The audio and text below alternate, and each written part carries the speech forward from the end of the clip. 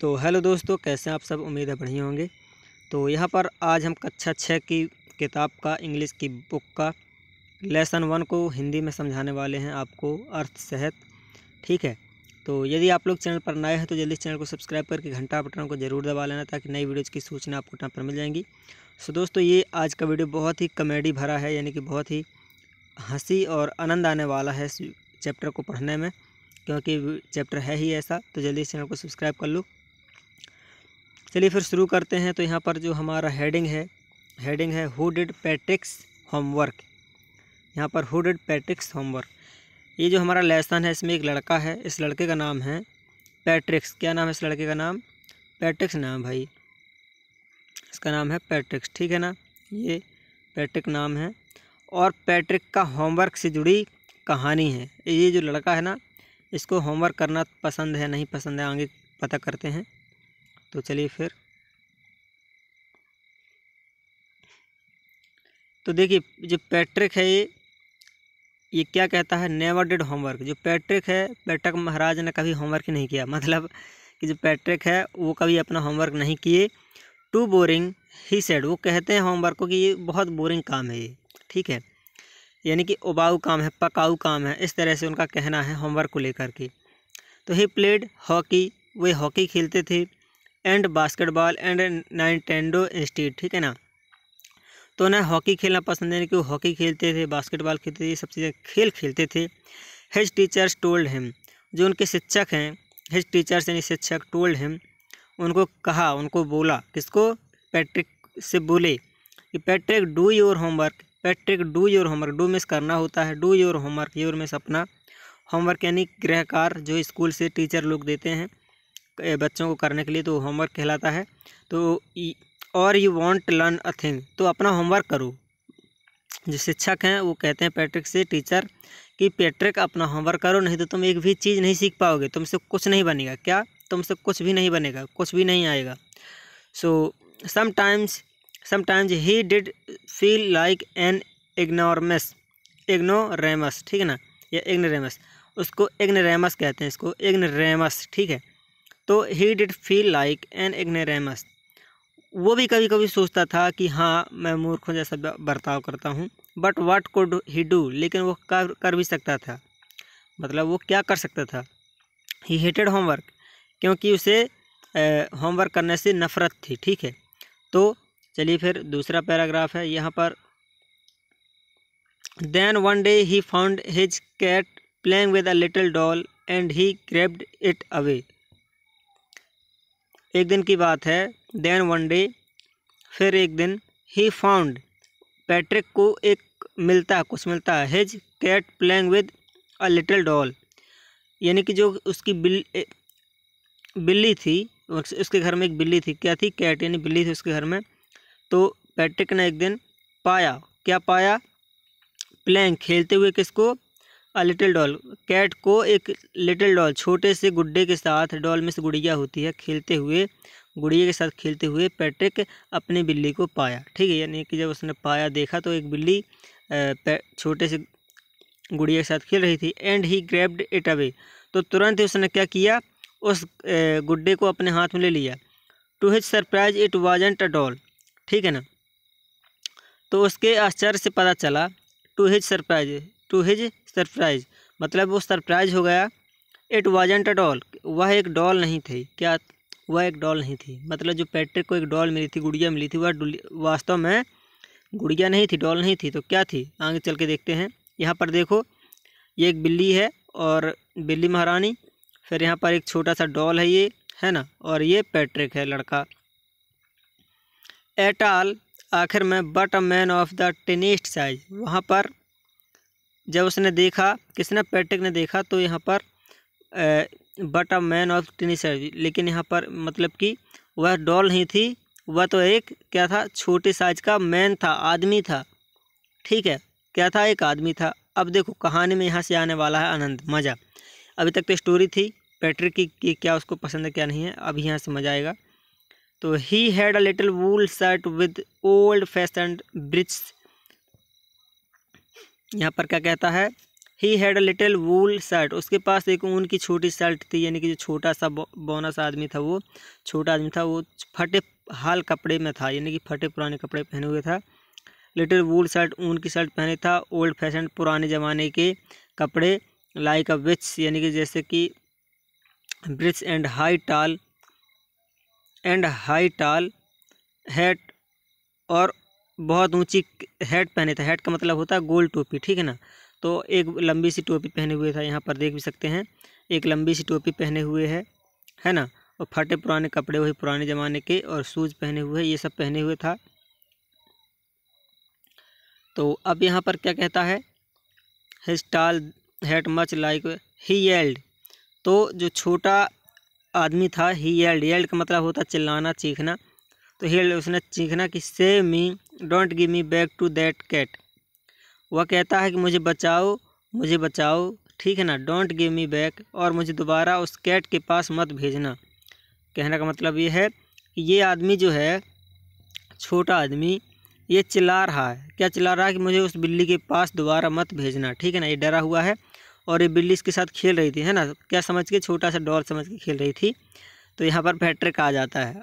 ठीक है तो यहाँ पर छोटा सा आदमी है। बट यहाँ पर एक कंडीशन रखी जाती है। जब वो ऐसा कहता है कौन छोटा आदमी कहता है उससे पैट्रिक से तो पैट्रिक कहता है I'll grant you a I promise you that ठीक है ना? अच्छा वो जो छोटा आदमी है वो कहता है कि मैं तुम्हारी एक इच्छा पूरी करूँगा। आई प्रोमिस यू दैट मैं उसकी ए, उसके लिए वादा करता हूँ। जो भी तुम कहोगे मैं तुम्हारा एक काम करूँगा। ठीक है? Patrick couldn't believe how lucky he was तो जब उसने इतना कहा तो पैट्रिक को मतलब बहुत खुश हुआ। पैट्रिक को तो यकीन ही नहीं हो रहा था। क्या? पैट्रिक को तो यकीन नहीं हो रहा था। पैट्रिक कुडेंट बिलीव मतलब उसे यकीन नहीं हो रहा था, है ना? But how lucky he was लेकिन वह हाउ लकी ही वाज उसे अपने आप पर भरोसा नहीं हो रहा था। किस पर?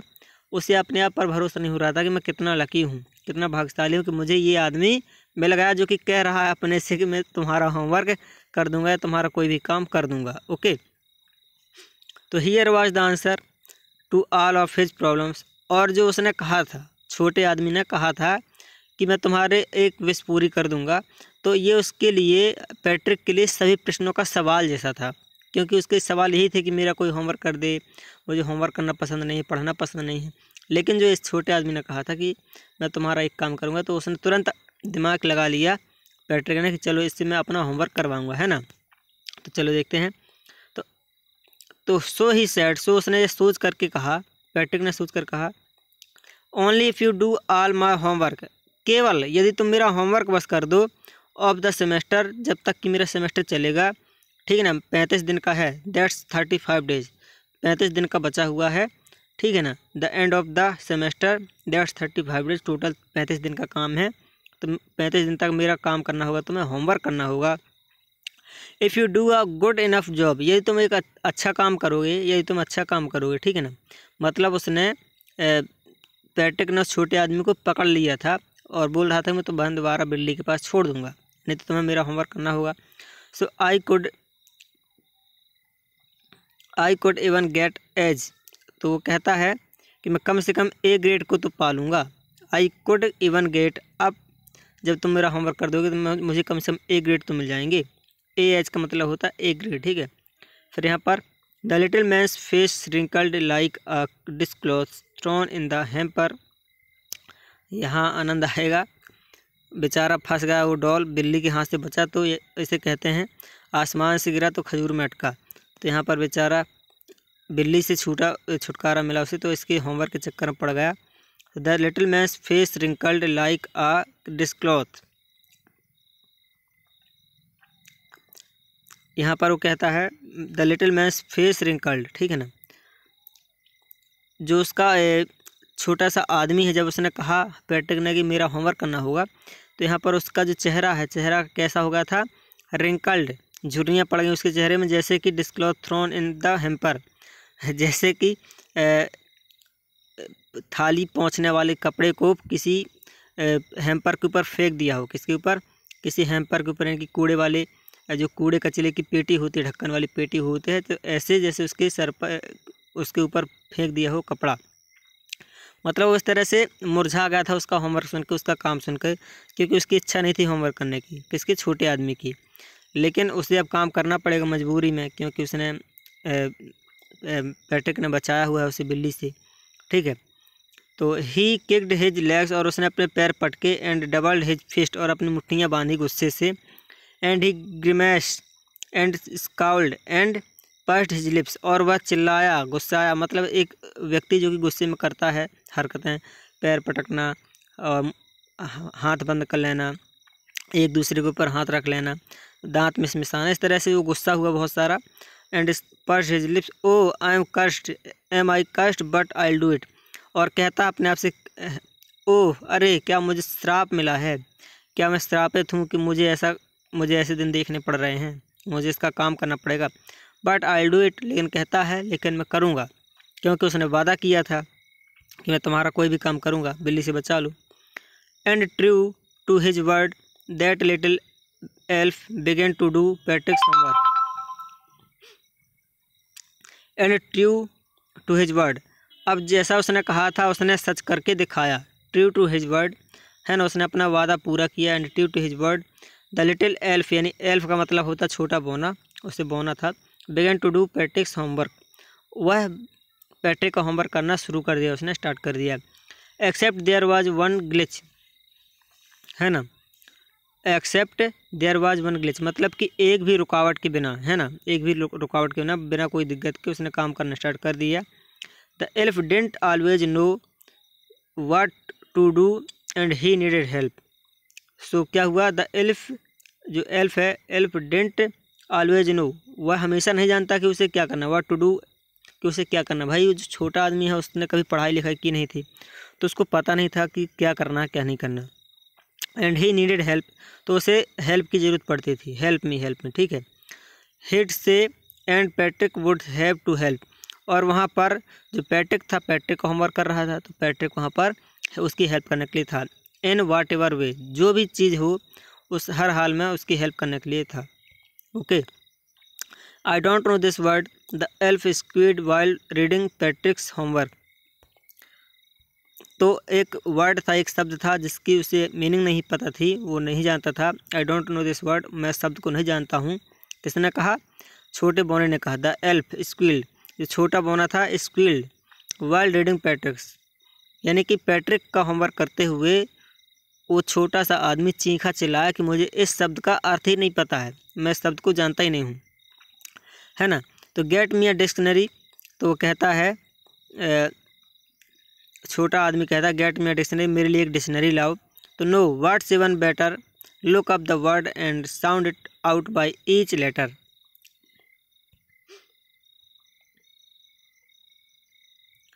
तो यहाँ पर नो वर्ड्स इवन बेटर जो भी हो, जैसा भी बने look up the word and शब्द को देखो एंड इसे साउंड तेज़ी से चिल्लाओ, ठीक ना? Sound out by each letter एक एक अक्षर को पढ़ो। क्या करो? एक एक लेटर को एक एक अक्षर को पढ़ना तुमको, है ना? फिर कहता है when it came to maths जब गणित की बारी आई और उसने बाकी सब्जेक्टों का होमवर्क करवा लिया, छोटे आदमी से, जब गणित की बारी आई तो when it came to maths Patrick was out of luck जो पैटक था वाज आउट ऑफ़ लक मतलब कि लक होता है, जो भाग होता है तो भाग जो उसका ख़राब था, क्योंकि मैथ उससे आती नहीं थी पैटक से। वैसे भी वो अपना कभी होमवर्क नहीं करता था। तो वाट आर टाइम्स टेबल्स ठीक है। तो कहता हुआ कि ये टाइम टेबल्स क्या होती हैं? वो छोटा बोना कहता, ये वाला आदमी कहता, छोटा सा द एल्फ स्ट्रिक्ड जो एल्फ था, छोटा आदमी था, उसे फिर से गुस्सा चढ़ी और वह उसने मतलब चेहरे गुस्से से चेहरा बनाया अपना। The we elves never need that और कहता है कि हम बोनों को कभी भी ऐसे कामों की ज़रूरत नहीं पड़ी। हमने कभी पढ़ा लिखा नहीं है तो हमसे आता भी नहीं है। ठीक है? और ये देखो किताबों के ऊपर ही बैठा हुआ है, उसे बहुत गुस्सा चढ़ रही है और होमवर्क हालाँकि पैट्रिक उसे बता रहा था। ठीक है ना? लेकिन फिर भी उसको होमवर्क करना पड़ रहा था पैट्रिक का। एंड एडिशन एंड सब्ट्रैक्शन और कहता है कि हमने कभी जोड़ घटाने भी नहीं किए।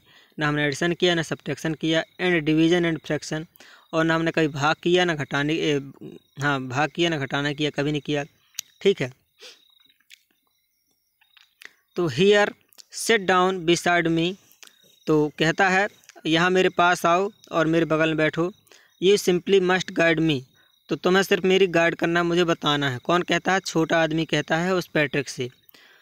Elves know nothing of human history जो बौने लोग होते हैं, छोटे आदमी होते हैं, वो मानव के हिस्ट्री के बारे में कुछ भी नहीं जानते हैं, क्योंकि बड़े लोग क्या पढ़ते हैं, क्या नहीं पढ़ते हैं। ठीक है? हाँ।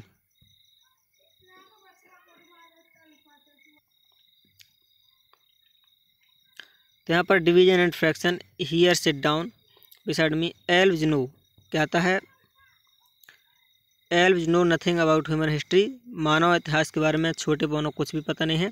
To them it's a mystery उनके लिए तो यह एक रहस्य क्या है? छोटे इंसानों के लिए तो अपनी बड़ी दुनिया के लोगों के जो चीज़ें हैं वो उनके लिए एक रहस्य हैं। So the little elf already a so साउटर वैसे भी वो बोना पहले से चिल्लाने वाला था। जस्ट गॉट लाउडर और अब और तेज चिल्लाने लगा। ठीक है, गुस्से से। Go to the library I need books और कहता जाओ लाइब्रेरी जब मतलब पुस्तकालय में जाओ लाइब्रेरी में जाओ और मुझे किताबें लाओ। मोर एंड मोर बुक्स जितनी भी किताबें वो सभी लाओ, ठीक है? जितनी ज़्यादा हो सकती हैं। And you can help me read them too और तुम भी मेरी मदद कर सकते हो उनको पढ़ करके। फिर as a matter of fact दरअसल दरअसल में क्या हुआ? Every day in every way as a matter of fact दरअसल में या वास्तव में every day in every way हर दिन हर तरह से that little elf was a nag जो वो छोटा था बोना था, वो हर दिन हर तरह से एल्फ वाज अ नेग मतलब कि गुनगुन था, और गुनगुनाया हुआ था, गुस्सा था, है ना, इस तरह से। उसका बर्ताव जो था, वो अलग था। Patrick was working harder than ever and जो पैट्रिक था, अब पैट्रिक ज़्यादा मेहनत कर रहा था, बोने आदमी के साथ। पैट्रिक वाज वर्किंग हार्डर है ना, पहले से कई जाना बहुत ज़्यादा मेहनत करता था वो, देन एवर, जैसे कि उसने पहले कभी किया था, उससे जई, कई ज़्यादा। And was it a drag, है ना? He was staying up nights वह रात भर पढ़ता रहता था, काम करता रहता था had never felt so very और कभी भी उसे थका हुआ महसूस नहीं हुआ। वाज गोइंग टू स्कूल और स्कूल भी डेली जा रहा था with his eyes puffed and blurry वह अपनी फूली हुई आँखों, फूली और धुंधली आँखों के साथ मतलब कि रात भर पढ़ता था वो तो उसकी आँखें फूल जाती थीं, धुंधला दिखाई देता था उसको, है ना? फिर वह डेली स्कूल जाने लगा। Finally the last day of school arrived जैसे ही स्कूल का आखिरी दिन आया finally last day of school arrived जैसे ही आखिरी दिन आया and the elf was free to go और जो छोटा बोना था वो जाने के लिए, या उसे छुट्टी मिल गई। क्या हो गई? उसे छुट्टी मिल गई। मतलब उसका होमवर्क थर्टी फाइव डेज़ पैंतीस दिन कंप्लीट हो गए थे। स्कूल का आखिरी दिन आ गया था तो अब उसे आखिरी दिन तक ही रुकना था। एज फॉर होमवर्क जैसे ही होमवर्क की बारी आई, यानी कि यदि होमवर्क की बात करें there there was no more अब होमवर्क ख़त्म हो चुका था होमवर्क अब नहीं था।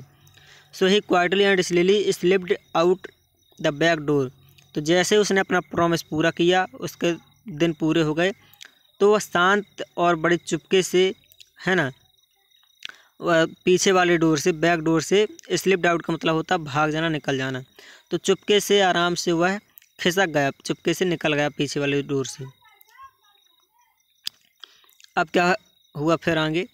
देखो, पैट्रिक गॉट हिज एस और Patrick got his A's. Patrick को ए ग्रेड भी मिले। पैट्रिक ने भी मेहनत किया था पढ़ने में तो पैट्रिक को ए ग्रेड भी मिले। हिज क्लासमेट्स व रमेश उसके जो साथी थे आश्चर्य में थे, अचंभित थे his teachers smiled and were full of praise लेकिन जो उसके शिक्षक थे वो बहुत खुश थे एंड फुल ऑफ़ प्रेज और काफ़ी प्रशंसा भी की पैट्रिक की. And his parents they wondered that had happen to Patrick तो उन्हें तो आश्चर्य था उनके पिताजी को मा, माता पिता को आश्चर्य था. उन्हें लगा कि यार पैट्रिक को क्या हो गया भाई? अचानक से इसमें बहुत परिवर्तन आया है. He was now the model kid और अब वह मॉडल किड किड बन गया। मतलब कि वह एक मिसाल बन गया, एक नमूना बन गया पढ़ाई के क्षेत्र में। सभी सभी जो अपने क्लास के बच्चे थे, उनके लिए वह एक मॉडल बन गया, उनके लिए एक आदर्श बच्चा बन गया। है ना? अब उसको देख करके बच्चे मोटिवेट होते थे। अब clean his room, did his chores, या कोर्स वाज चेयरफुल। अब वह अपना रूम साफ़ किया उसने और अपने होमवर्क डेली करता था वह बहुत खुश भी था। नेवर रूड और जो उसका बर्ताव था, बदल गया था। पहले रूड था, अभी अच्छा बर्ताव हो गया था उसका। Like he had developed a whole new attitude ऐसा लगता था जैसे उसने अपना पूरा एटीट्यूड ही चेंज कर लिया है। है ना? अपना पूरा हुलिया बदल लिया है। तो you see there you see देखिए, ठीक है ना? देखिए इन द एंड आखिरी में यदि बात करें तो Patrick still thought he had made that tiny man do all his homework तो पैट्रिक स्टिल थॉट पैट्रिक को अभी लगता था कि उसने मजबूरन में उस काम को करवाया है। He'd made that tiny man do all work मजबूरन में उस छोटे आदमी से काम करवाया है, ठीक है? किसको लग रहा था? पैट्रिक को। लेकिन but I'll share a secret लेकिन मैं एक रहस्य की बात बताता हूँ सीक्रेट की बात बताता हूँ। Just between you and me तुम्हारे और मेरे बीच की बात है। इट वॉजेंट द एल्फ यह कोई छोटा बोना नहीं था। Patrick had done it himself Patrick ने खुद ही अपना ये पूरा होमवर्क किया था, सब कुछ किया था, उसने सोचा था। और जो डॉल था, वो एल्फ मैन था, बोना आदमी था, वो एक बहाना था। वास्तव में ये पैट्रिक ही था, ठीक है ना? जो लेसन लिखा गया है ये लेसन लिखा गया कैरोल मूरे ने ये कैरोल मूरे ने ठीक है? तो ये लेसन हमारा ख़त्म होता मिलते हैं नेक्स्ट वीडियो में नेक्स्ट लेसन के साथ।